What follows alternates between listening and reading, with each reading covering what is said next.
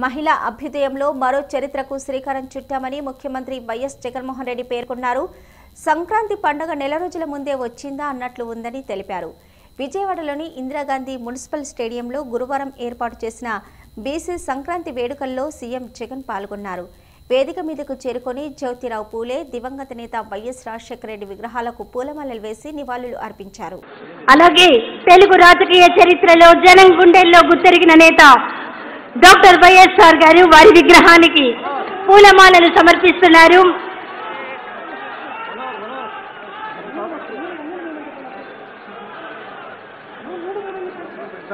నాడు కోట్లాది మంది ప్రజలు ఆప్తుడిగా భావించారు డాక్టర్ వైఎస్ఆర్ గారిని. ఆయన తనయులు మనందరి ప్రియతమ నాయకులు రాష్ట్ర ముఖ్యమంత్రి గారు. ఈ రోజు బీసీల కోసం దయచేసి అందరూ మీ మీ స్థానాల్లో కూర్చోవలసిందిగా కోరుకుంటున్నాం. దయచేసి మీ అందరూ మీ మీ స్థానాల్లో కూర్చోవలసిందిగా మరొకసారి విజ్ఞప్తి చేస్తున్నాం. దయచేసి అందరూ మీ మీ స్థానాల్లో కూర్చుంటే ఈనాటి కార్యక్రమం మన ముఖ్యమంత్రి గారి యొక్క ప్రసంగం ఉంటుంది. ప్రతి ఒక్కరూ మీ మీ స్థానాల్లో కూర్చోవలసిందిగా కోరుకుంటున్నాం. జ్యోతి ప్రజ్వలన కార్యక్రమం జరుగుతోంది.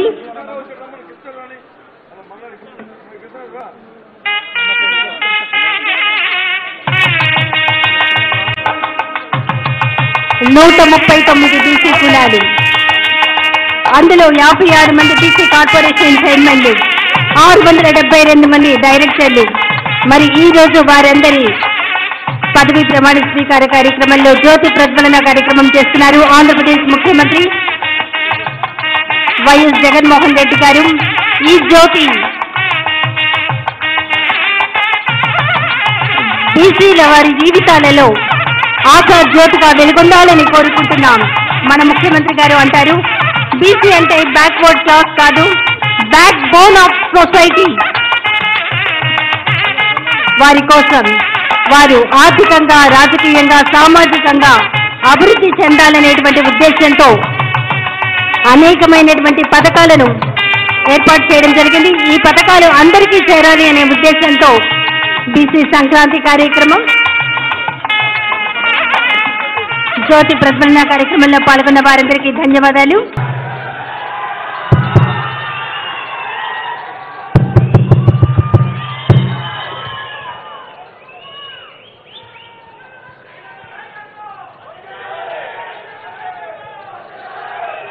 ఇక్కడే ఇదే స్థలంలోనే పద్దెనిమిది నెలల ముందు మీ బిడ్డ మీ అన్న మీ తమ్ముడిగా మీరందరి చల్లని దీవెనలు ఆశీస్సులతో ఇక్కడే ప్రమాణ స్వీకారం చేయడం జరిగింది.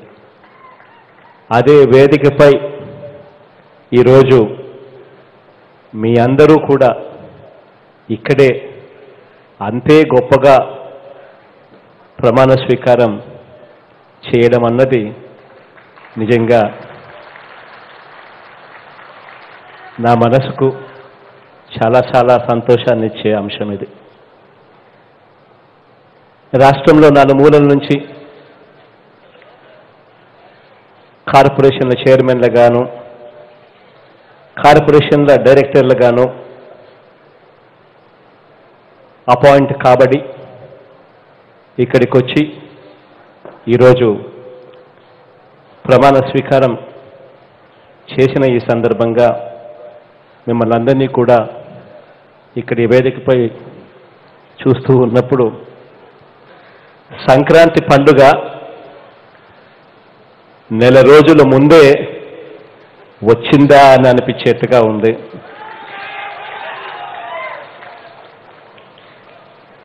నూట ముప్పై తొమ్మిది బీసీ కులాలకు యాభై ఆరు కార్పొరేషన్ల ఏర్పాటుతో పాటు ప్రతి కార్పొరేషన్కు ప్రతి జిల్లా నుంచి ఒకరు చొప్పున పన్నెండు మంది డైరెక్టర్లు కనీసంగా ఉండేలా నియామకం చేశారు. ఆంధ్ర రాష్ట్ర రాజకీయ చరిత్రను తిరగరాసేలా బలహీన వర్గాలను బలపరచడంలో మరో అడుగు ఈరోజు ముందుకు వేశామని గర్వంగా కూడా ఈ ఈ వేదికపై నుంచి చెప్తా ఉన్నా. యాభై ఆరు కార్పొరేషన్ల చైర్మన్లలో ఇరవై తొమ్మిది మంది నా అక్క చెల్లెమ్మలే అని చెప్పి కూడా గర్వంగా ఈ సందర్భంగా చెప్తా ఉన్నాను. ఆరు వందల డెబ్బై రెండు మంది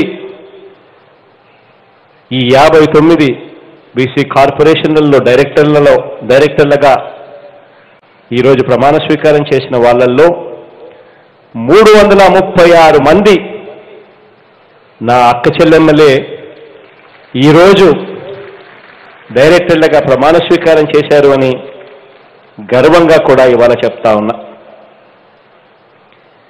ఈరోజు మహిళలకు అక్క చెల్లెమ్మలకు ఈరోజు ఈ స్థానం కల్పించడము అనంటే మహిళ అభ్యుదయ అభ్యుదయంలో మరో చరిత్రకు రాష్ట్రంలో ఈరోజు శ్రీకారం చుట్టాము అని చెప్పి కూడా ఈ సందర్భంగా గర్వంగా కూడా చెప్తా ఉన్నా.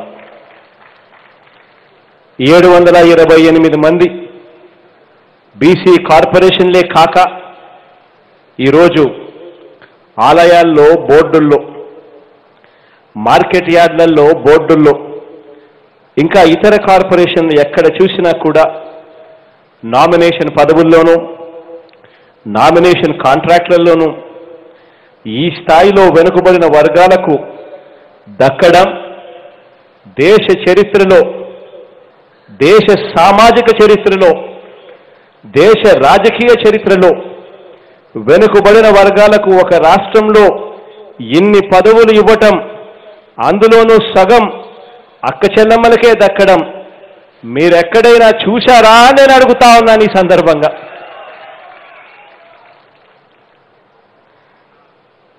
మీరంతా మన ప్రభుత్వ విధానమైన సామాజిక న్యాయానికి మీరంతా కూడా ప్రతినిధులు.